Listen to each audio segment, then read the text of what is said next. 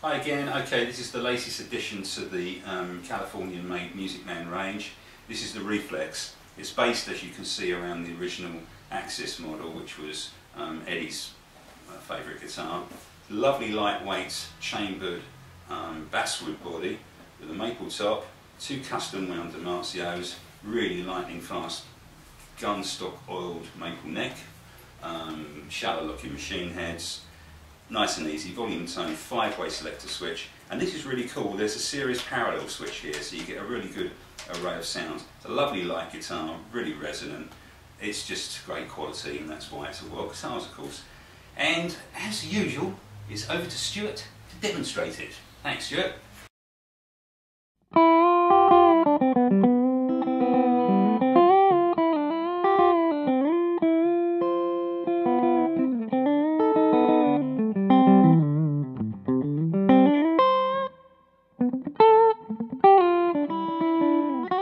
Thank